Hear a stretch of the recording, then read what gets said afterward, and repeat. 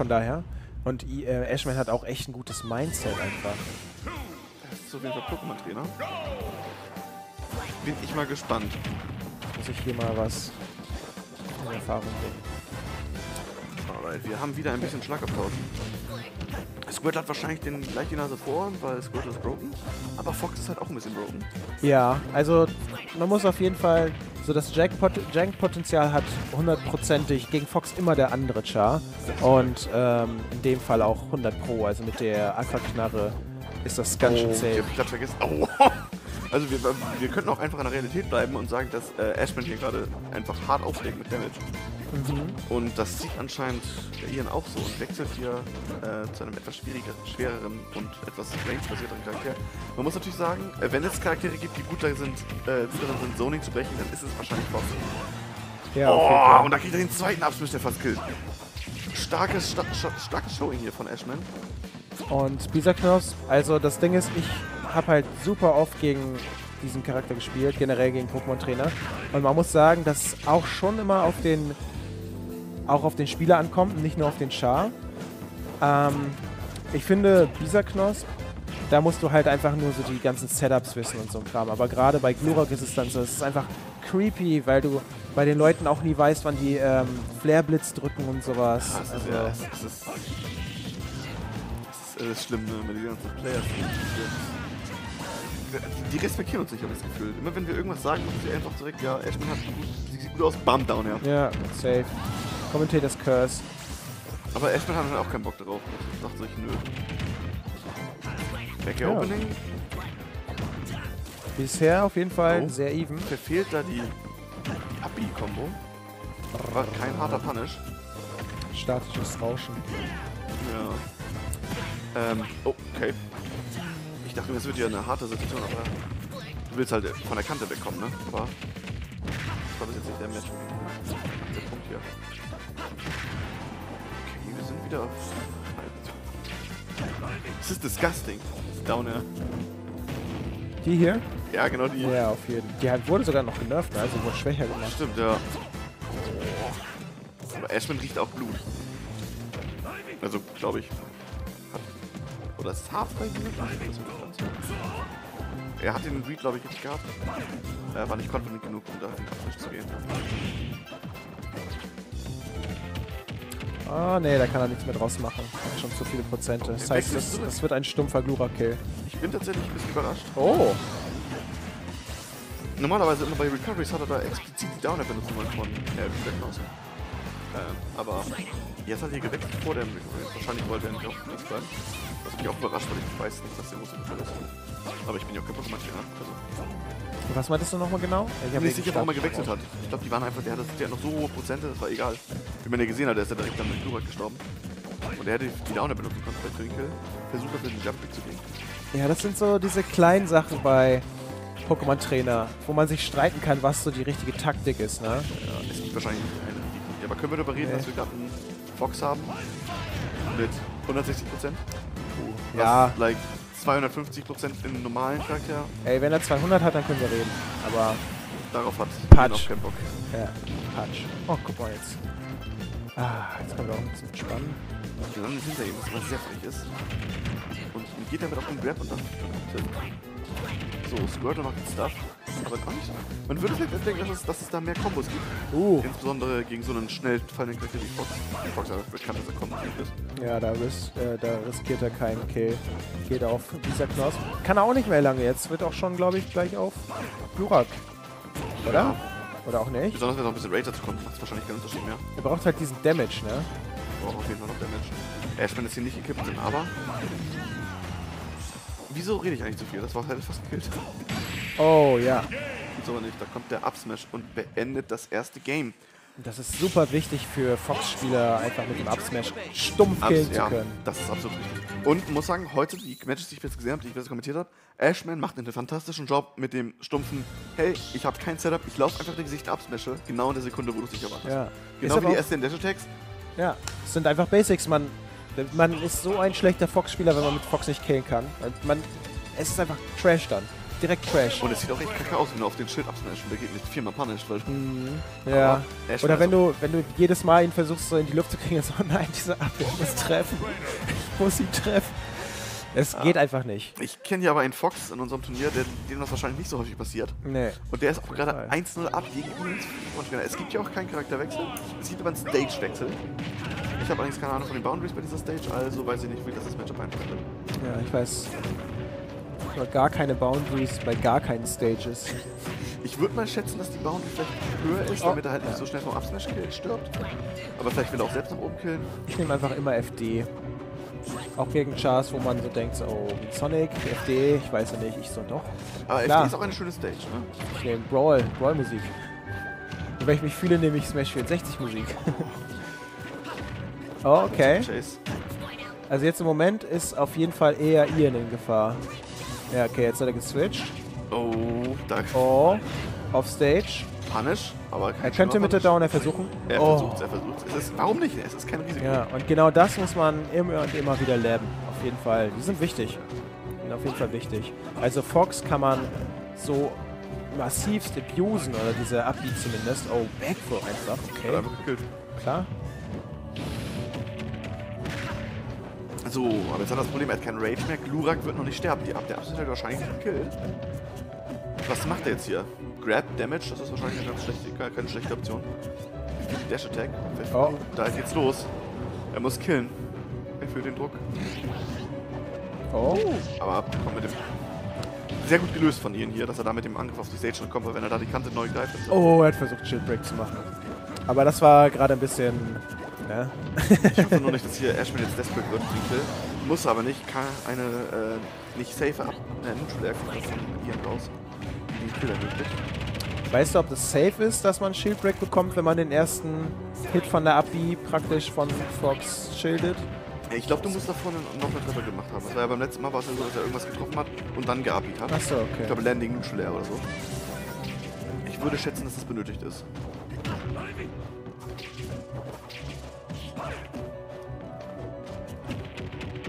Ja, das macht er auf jeden Fall gut an der Edge. Also, Eine der von Fox großen Stärken ist dieser Edge-Trapping. einfach macht's wegen auch. dem Frame, der da. Aber die meisten Fox-Spieler machen einfach viel mehr näher. Also, die spammen einfach näher so ein bisschen Ja. an der Edge. Das kann man aber auch Optionen. ja, genau, aber das kannst du halt gegen dieser Knosp nicht machen, weil er da einfach hochpatscht. Ja. Jetzt aber Bisa Knosp, ja, Ian auch mit einem sehr guten Edge-Trapping. Also ich würde mir die in die Hosen scheißen. Wie knapp da der Tod an mir vorbeigeht. Uiuiui. Es ist nicht leicht, über sowas nicht nachzudenken. Ne? Oh. Denkt man im Kopf wirklich immer so. Oh. Ashman, oh, aber Ashman ist vielleicht auch in Gefahr. In Gefahr, einen Abschmerz zu treffen. Boom! Und da findet er die Öffnung. Er hat, er hat gegeiert auf den Up-Smash, aber er hat es nicht gezeigt. Das, Ja. ist, das ist die Kunst. Äh, Fox steht und fällt mit dem Upsmash und im Moment steht er ziemlich weit auf.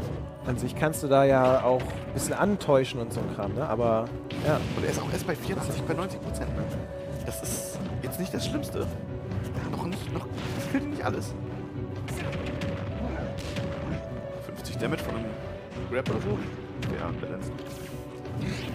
So schnell Damage gemacht. Auch so ein wichtiger, so eine wichtige Sache bei Fox. Du musst nicht unbedingt eine Combo machen.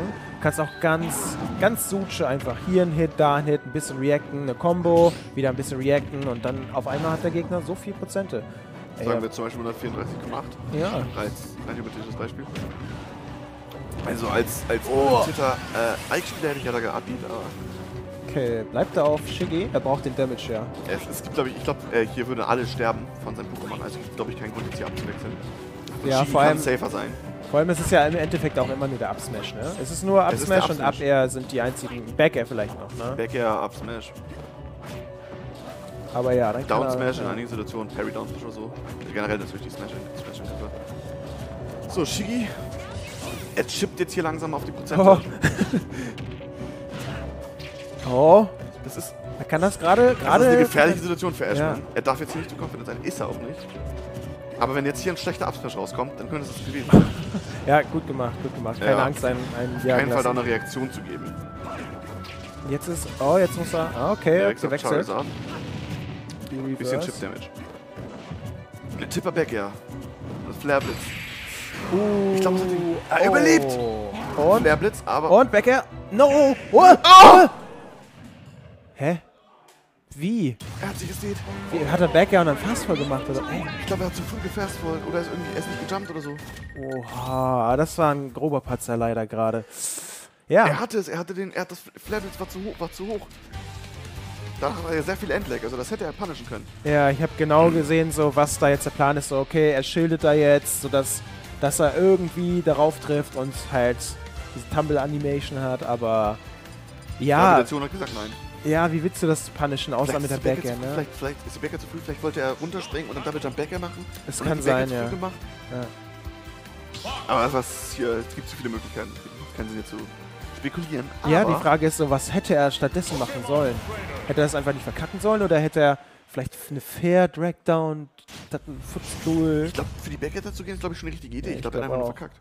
Ja, ich weiß nicht, ob die näher gekillt hätte. Das wäre natürlich ein bisschen sicherer gewesen, aber. Ich hätte, glaube ich, einfach Walk-Off oder Run-Off Up-Air. Wäre vielleicht die beste Option. Ich weiß nicht, gewesen. ob das so tief unten gekillt. Schade, das ist schon schwierig. Ja, Ja, aber auf jeden Fall schockierend. Schockierendes 1 zu 1 gerade. auf jeden Fall. Aber das ist wahrscheinlich der einzige Fall, wo man sagen kann, hey, relax, du hast verloren. Weil es war immer noch, er hätte, er hätte so. Hier muss Ashman, Ashman muss sich auf jeden Fall von nichts verstecken, was, was das letzte Match angeht. Ja.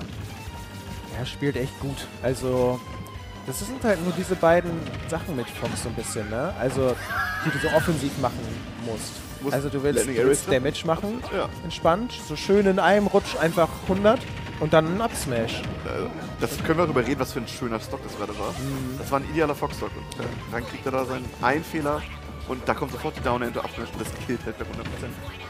Früher war das bei Ashman halt so, dass er schon ziemlich aufgeregt auch wurde und alles.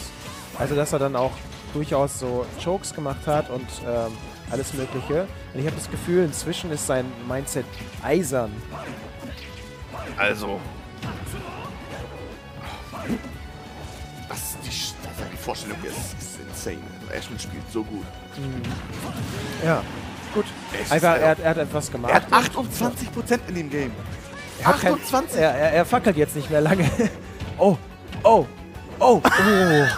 Okay, Junge. das also der Disrespect geht hier los. Ist das kannst du nicht antun. Aber 30 Prozent. jetzt, dann will ich nicht zu früh befolgen. Er ist sehr leicht. Es ist immer noch absolut möglich für ihn hier das Comeback zu machen. Ja, safe. Absolut. Ashman ist sehr stark. Ashman will hier, Ashman drückt hier, drückt hier auf die Tube. Und es gibt keinen Grund, das nicht zu tun, weil er hat immer noch zwei fucking Stocks. Glaub ich, Oh, er hat, ja. weiß ich nicht, ehrlich gesagt. Ich mach's mal lieber nicht. Er hat immer noch zwei Stocks übrig, mit denen er arbeiten kann. Und das war's. Ja, und da ist die Back. Das war's nicht. Oh, was? Echt? Okay, vielleicht nochmal Comeback. Ah, weil ich würde mir von Ian wünschen, dass er mit, mit Shiggy irgendwann mal erstmal auflädt, die B, und die dann irgendwann im Petto hat und den einfach wegsplasht. Aber natürlich muss man sagen, Fox ist ja auch. Der ist ja basically Sonic 2.0, der ist Ja. in Sicht. Aber woran du dir das. Das Ding ist, er kann das nur auf dieser Höhe machen, ansonsten ist er vulnerable. Das heißt, du weißt eigentlich so, okay, er ist jetzt gerade unter der Höhe, er wird springen und dann Side-B machen. Und dann kannst du das halt schon reinhauen. Offstage. Ja, ja, genau, ja. Offstage. Und dann fliegt er halt irgendwo da rum, ne? Das ist ja Standard, aber Ja, das Ding ist, du kannst dann halt nochmal, nochmal schießen mit Wasser und dann hat er halt keine Side-B mehr wirklich. Ich meine doch eigentlich ja das Laden, das halt, wenn er auf der Stage da lädt, so, das okay. Es geht ja viel auch um Spacing, was Mhm. die Kontrolle und du musst halt dann dafür die Kontrolle aufgeben und wahrscheinlich war nicht bereit, das zu tun. So, wie steht's jetzt? 2-1? Ja. Ja, 2-1 für Ashman. Sehr schön. Das heißt, wir sehen jetzt hier ein Game 4 und man muss sagen, das war ein dominantes Showing gerade eben von Ashman.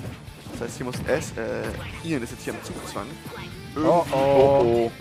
Der Tag ist wieder Tag, er kommt nicht zurück. Das war's. Oh, crazy. Ja, genau sowas meinte ich. Also, ähm, guter Start für Ian. Der letzte war kein Freestock, ne? Der hat am Ende Nee, noch. der hat noch, äh, ich weiß nicht, ob, sogar noch, ob er noch zwei Stocks sogar bekommen hat. Ich glaube, er hat noch zwei Stocks bekommen und ist dann instant gestorben. Ja, mal schauen, wie das jetzt läuft. Okay, Jetzt muss Ashman aufholen. Was bedeutet, eventuell kommen Risky Up Smashes, eventuell kommen Up Punishes für Up Smashes. Aber es ist ja noch Semis nicht. Finals übrigens. Winners. Nee, Losers Semifinals, meine ich natürlich.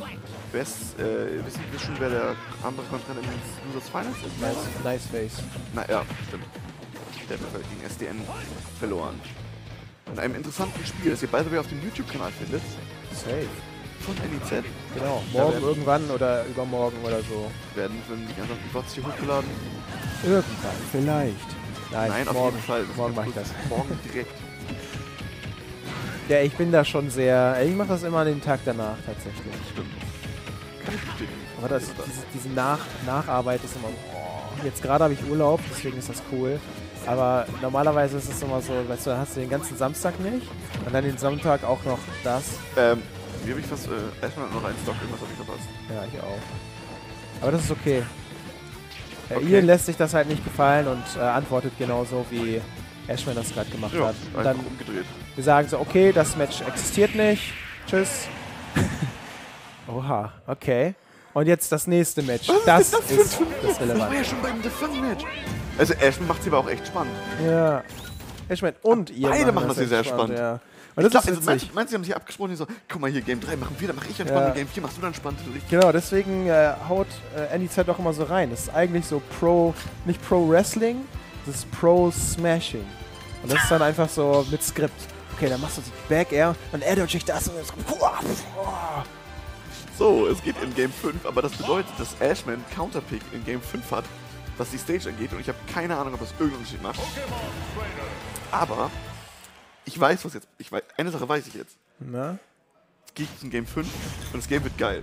Ja, auf jeden Fall. Ich frage mich, wer als erstes so ein bisschen das Momentum bekommt. Und ob das wieder ein Sweep wird. Eigentlich nicht. Ich glaube, das wird ein. Äh, das wird zittern. Das wird zittern. Auf dem letzten Stock wird das zittern. Also, auf jeden Fall werden die Nerven da auf jeden Fall irgendwann anfangen. Sich bemerkbar zu machen und dann mal gucken. Du meinst ja, der Ashman hat stahlharte Nerven zu dir bewiesen. Mal sehen, ob er genug davon hat, ob er nicht alle schon aufgebraucht hat.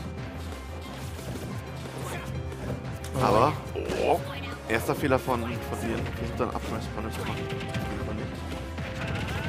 Interrupted die Komma mit Jab. Es sieht bis jetzt nicht gut aus für Ian. Auch wenn Ian gerade Stage hat. Aber ist hier auf einmal. Oh, Ich sag, ich sag wie es ist. Der ist fast in Killprozent. Aber tot? gewechselt. nein, der ist nicht noch. Der ist tot. Auf der Stage auf jeden Fall. Ich weiß nicht, ob er sonst hätte noch äh, abmatchen können Ja. oder so, aber Ich hätte ihn sagen dürfen, ich schon wieder, ja, Ashman sieht gut aus. Bam, Edgeguard. Aber das ist Matchup, das ist Matchup. Du musst als Fox-Spieler deine Recovery möglichst vermeiden. Ähm.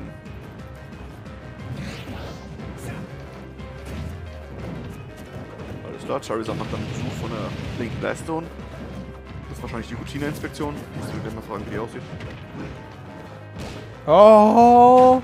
Hast du es gehört? Ja. äh, der hat ihm auf den Kopf gesprungen, oder? War das ein und Ja, eine Ich weiß nicht genau, was da abgelaufen ist. Also gab es ich glaube, das immer diese Tick gemacht, dass du, wenn du Footstool dass du dann in, in Vulnerable bist, vielleicht ein paar Frames, dass du damit Aerials entkommen kannst. Ich glaube, er hat auf jeden Fall Momentum nach oben bekommen, deswegen ist er, hat das eine, der Ja, eine eine Abwehr nicht. Genau. Aber das klang so, als hätten beide. Von. Footstool auf jeden Fall, ja. Rip. Oh! Okay. Oh! Ja, okay, er versucht es nicht. Ja, okay, es ist es Fox. Oh! Ja, das war ein Double Ledge Grab, das darfst du nicht machen, das ist illegal. Ash, Der ist Ash so ist so patient. patient. Er steht da einfach rum und dann guckt ihm ins Gesicht und so. Hm? Du weißt, du bist der Kante, mach mal was. Panik! Ich hab Panik und ich spiele nicht mal. Es ist schon cool, dass Fox noch existiert. Auch so auf einem höheren Level und dass der noch gut ist. Das war Fox immer. Oh Ian, Gott, Digga. so, ich mach mir Sorgen. Oh, okay. Forward Throw, Offstage, Feuer wahrscheinlich. Oh, okay. Also Feuer ja, aber äh, anders als gedacht. Slappt ihn direkt. Und das ist jetzt. Oh, das war ein, das war ein grober Oh, Patzer. Fehler. Das war ein grober Patzer. Und Er hätte locker noch wieder- lange überleben können. Wir haben jetzt schon wieder zum ich weiß nicht wievielten Mal in diesem Turnier ein Game 5 Last Stock Situation. Zickerpartie halt. Jetzt gucken wir, wer die besseren Nerven hat. Oh. Oh. Alles gut. Oh. Oh, Ashman ist da durchgekommen. Da kann man auch nichts anderes sagen als oh und oh. Ja. Ja, ist auch. Ich mach das, mag diese Momente voll gerne. Aber also ein sehr gutes Movement davon, Ashman, dass er da sich da rum, rumbewegt, rüberjumpt. Ja, Und 61 Threadzone- Prozent. Er kommt jetzt halt so langsam in die Prozente, wo er bei jedem Hit Offstage fliegt. Und das ist nicht gut bei Fox. Das ist nicht oh, gut oh. bei Fox. oh, oh, Oh, er hat den Tag wieder bei Fox. Er muss das jetzt schnell beenden. Ansonsten, glaube ich, geht das an Ian. Kann das nicht punishen? Das ist ein Krimi. Ich glaube, er kann das nicht, aber er muss jetzt ruhig die Prozente aufbauen. Die sind noch nicht, er ist noch nicht in Absolut Prozent. Noch ein solider Hit und da. Oh, den Jump ist der Callout. Read! Der Callout. Ian kriegt hier tatsächlich mit einem starken Showing den, das W gegen Ashman, der heute auch eiskalt super performt hat.